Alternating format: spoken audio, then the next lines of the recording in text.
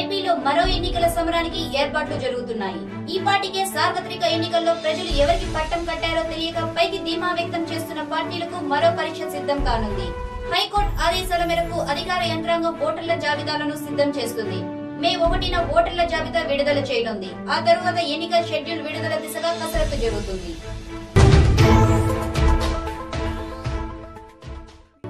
జిల్లా శ్రీకాళహస్తి పరిసర ప్రాంతాల్లో దొంగతనాలకు పాల్పడుతూ ప్రజలను భయభ్రాంతలకు గురి చేస్తున్న దొంగలను అదుపులోకి తీసుకున్నట్లు డీఎస్పీ రామకృష్ణ తెలిపారు. వారి నుండి అరవై ఐదు వేల రూపాయల నగదు ఇరవై ఎనిమిది గ్రాముల బంగారం స్వాధీనం చేసుకున్నట్లు చెప్పారు.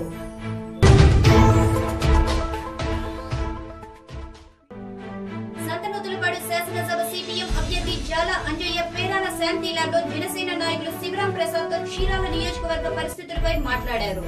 ఆయన వెంట సిపిఎం నాయకులు చీకటి వసంతరావు నల్లతోటి బాబురావు ఉన్నారు.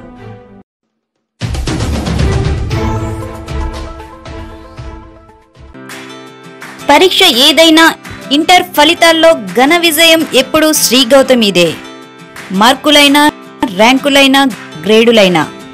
ఫలితాల సాధనలో చీరాల శ్రీ గౌతమి విద్యార్థులదే అగ్రస్థానం.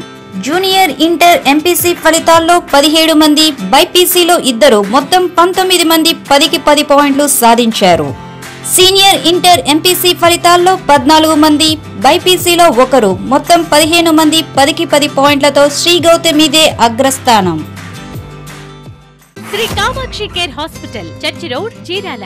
Cell nine triple zero eight zero eight one nine eight. Managing director Tadivalasa Devaraju MBA B